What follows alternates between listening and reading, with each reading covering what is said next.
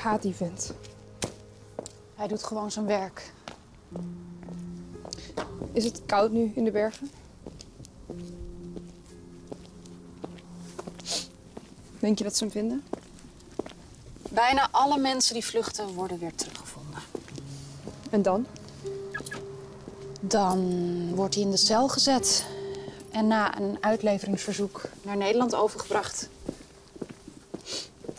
Kunnen we alsjeblieft nog heel even lopen? Ja, tuurlijk.